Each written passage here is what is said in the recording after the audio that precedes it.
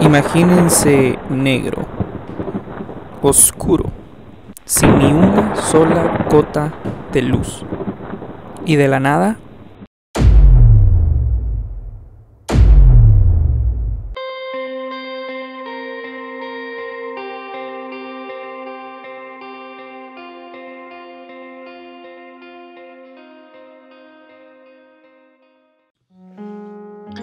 Hola a todos y que el Señor los bendiga. Gracias a Dios por lo que Dios está haciendo en nuestras vidas. La lección de hoy se titula La columna de nube y de fuego, una parte esencial y crucial en toda la historia del pueblo de Israel a través de desde su salida de Egipto hasta llegar a la tierra de Canaán. Esta lección es tan importante que tenemos que poner muchísima atención a lo que está por venir. Antes de entrar a la lección deberíamos de orar. Señor Jesús, te damos gracias por este día, Señor. Gracias Jesús por lo que estás haciendo en nuestras vidas. Gracias Señor por la palabra que has derramado en nuestros corazones. Jesús, te amamos. Gracias Señor por lo que tú estás preparando para nosotros hoy. Esta palabra, Señor, haz que llegue hasta lo más profundo de mi corazón. Jesús, te ruego, Señor, que me ayudes a entender las cosas que tú estás queriendo que yo entienda. Gracias Señor por mantenernos a salvo en esta situación. Gracias Jesús por la vida de nuestros pastores que están ahí para liderarnos y llevarnos la delantera. Gracias Señor por lo que estás haciendo en mi vida. Gracias Jesús porque estás ahí en cada uno de los pasos que yo estoy tomando. Señor, ayúdanos a abrir nuestros ojos a esta lección que está por venir. Señor, ayúdanos a aprender a poner en obra las cosas que tenemos. Señor, te ruego, Jesús, que entres hasta lo más profundo de, mi corazón, Señor, y que ilumines las partes más oscuras. Señor, te ruego que tu columna de nube y de fuego me muestre el camino por el que tengo que ir. En el nombre de Jesús, amén. Dicho eso, entremos entonces a entender qué es la columna de nube y de fuego. Y como es costumbre en estos videos, empecemos por ver el versículo que tenemos que memorizar y el Dios de esperanza os llene de todo gozo y paz en el creer, para que abundéis en esperanza por el poder del Espíritu Santo. Romanos 15, 13. Qué bendición de versículo. Ahora estudiemos un poco acerca de la historia del pueblo de Israel. Si ustedes se acuerdan, el pueblo de Israel fue liberado por Dios de la tierra de Egipto. Dios liberó a su pueblo de la tierra de Egipto luego de darle la experiencia de la redención por la sangre del Cordero de la Pascua. Esto es el tipo del Señor Jesucristo derramando su sangre por nosotros en la cruz del Calvario. Luego de esto, Dios les dio una columna de nube y de fuego para guiarlos por el desierto, indicándoles dónde acampar. Esta columna de fuego y nube es un tipo del Espíritu Santo. Ahora veamos el versículo en donde se cuenta la historia de cómo la columna de nube y de fuego guiaba al pueblo de Israel. Y partieron de Sucot y acamparon en Etam a la entrada del desierto. Y Jehová iba delante de ellos de día en una columna de nube para guiarlos por el camino, y de noche en una columna de fuego para alumbrarles, a fin de que anduviesen de día y de noche. Nunca se apartó de delante del pueblo la columna de día, ni de noche la columna de fuego. Éxodo 13 del 20 al 22. Ahora, recapitulemos un poco. El pueblo de Israel salió de la tierra de Egipto gracias a la sangre del cordero que los liberó de la esclavitud. Y ahora van camino a la tierra de Canaán y la columna de nube y de fuego los guía por donde quiera que tengan que ir. La columna entonces representa al Espíritu Santo. ¿Para qué necesitamos al Espíritu Santo? Bueno, la columna de nube es la que nos guía durante el día. Esto quiere decir que Él es nuestro eh, nuestra ayuda o nuestro impulsor, nos ayuda incluso a caminar como medio de transporte. ¿Esto para qué? Para que nosotros logremos llegar al crecimiento que Jesús quiere en nuestras vidas. Es decir, que nosotros obtengamos la estatura de Cristo que todos estamos llamados a tener. Pero es increíble porque el Espíritu Santo es ese camino o esa luz que nos está alumbrando hacia el camino que es Jesucristo. El Espíritu Santo nos lleva a toda verdad y toda verdad es Cristo, que a su vez es quien nos lleva al Padre. Cuando es de día nuestros ojos espirituales están abiertos ver muy bien. Cuando vemos claramente podemos discernir al Espíritu Santo que se posa sobre, sobre, perdón, que se posa como un pilar, ¿ok? De nube delante de nosotros y nos guía. Es decir, parece como que si fuera una columna delante de nosotros que nos está diciendo por aquí tenemos que caminar. Otro paso por aquí, otro paso por allá. Incluso cuando llegan las pruebas del calor, la columna de nube nos, nos sirve para darnos sombra y darnos un poquito de descanso y de tranquilidad en, ese en esa prueba, en ese calor tan sofocante. Pero por otro lado, la columna también estaba durante la noche y durante la noche era fuego. Y el fuego es luz, el fuego es calor, el fuego nos protege. Si estamos atravesando por una noche espiritual en nuestras vidas o por alguna prueba o tribulación, algo difícil que nos está costando, el Espíritu Santo sigue siendo nuestra guía.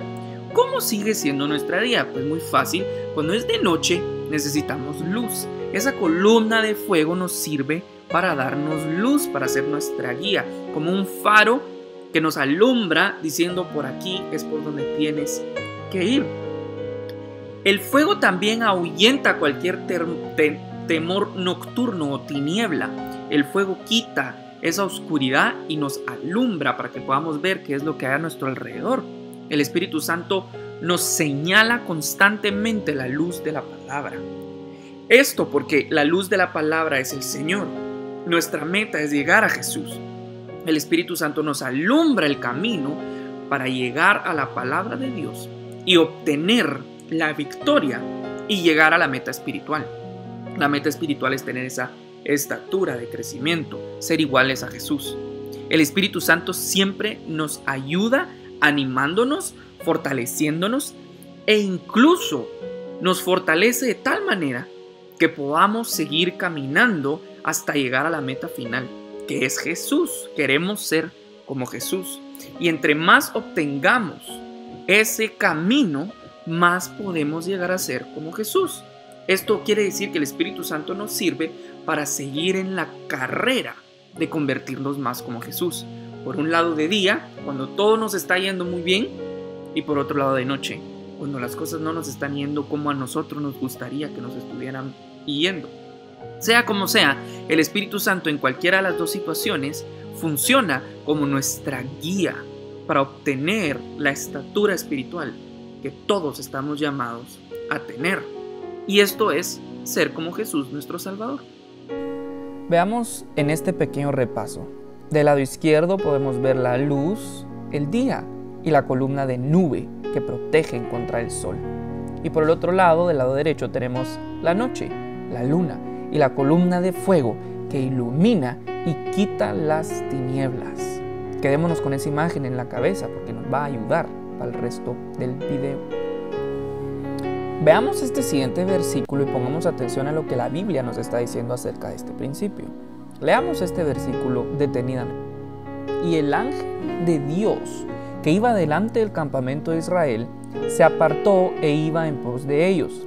Y asimismo la columna de nube que iba delante de ellos se apartó y se puso a sus espaldas, e iba entre el campamento de los egipcios y el campamento de Israel. Y era una nube y tinieblas para aquellos, y alumbraba a Israel de noche. Y en toda aquella noche nunca se acercaron los unos a los otros. Esto se encuentra en el libro del Éxodo capítulo 14 del verso 19 al 24. El Espíritu Santo entonces nos sirve para muchas cosas, pero una de las cuales es que nos ayuda a ponerse como una barrera, tanto adelante nuestro como a nuestras espaldas. Esto sirve para separarnos del mundo. Egipto representa al mundo y en ese versículo podemos ver cómo el pueblo de Israel fue separado del pueblo de los egipcios por una columna de fuego. Esa columna de fuego es representación del Espíritu Santo. Entre más tengamos el fuego del Espíritu Santo dentro de nosotros, más nos vamos a apartar del mundo, porque el Espíritu Santo sirve como esa barrera. Ahora, ¿por qué nos vamos a separar más del mundo? Pues por dos razones. La primera es porque vamos a estar llenos del Espíritu Santo y nos vamos a empezar a transformar de dentro hacia afuera. Y las cosas que antes nos gustaban ya no nos van a gustar. Ahora la segunda es un poco más dolorosa. Nuestro caminar va a empezar a cambiar de tal manera que ahora la gente lo va a empezar a notar. Y como lo empieza a notar hay dos posibles eh, reacciones. La primera es, wow, yo quiero lo que esa persona tiene. La otra reacción es, ¿qué le pasó? Él era tan alegre, él era tan contento, él siempre era de ambiente y ahora ya no lo es. La primera de las opciones es la que todos queremos. Yo estoy lleno del Espíritu Santo, mi camino cambió y ahora todo mi alrededor se da cuenta y quieren ser como yo. Pero la más común es la segunda. La gente va a decir, wow, ¿por qué cambió? Y entonces nos van a empezar a rechazar. Y ahora, por el rechazo que estamos sintiendo del mundo, ya no nos va a dar ganas de regresar al mundo, porque ese mundo es el que nos rechaza por algo que tenemos dentro, por algo que nos ha transformado la vida. ¿Se dan cuenta qué poderoso es el Espíritu Santo que está obrando dentro nuestro constantemente?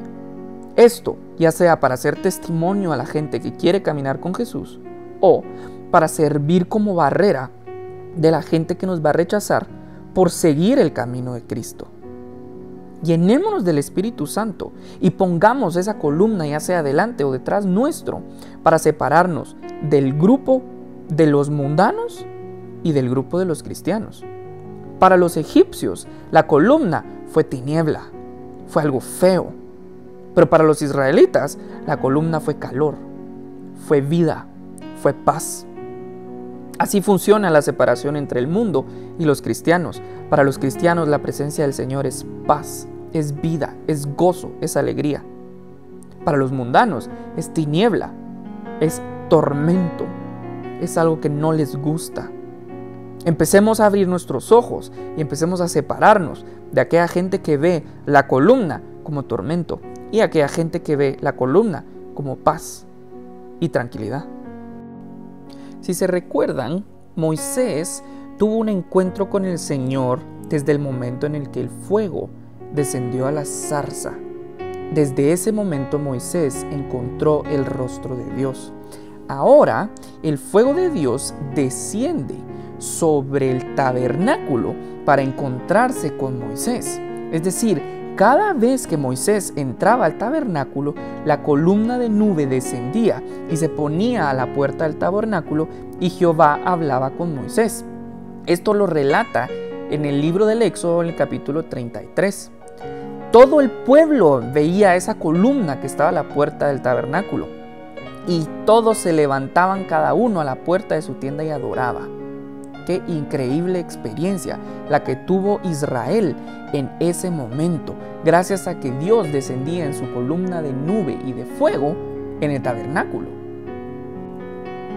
¿De qué nos sirve toda esta historia de Moisés entrando al tabernáculo, la nube descendiendo sobre el tabernáculo? ¿De qué nos sirve todo esto? Bueno, esto nos indica una cosa nada más, y es nuestra necesidad y oportunidad de entrar nosotros a nuestro propio tabernáculo personal a encontrarnos con la presencia de Dios. Nosotros también tenemos un tabernáculo personal, se llama nuestro cuarto de oración, y dentro de ese tabernáculo personal podemos encontrarnos con Dios cara a cara. ¿Cómo? Orando.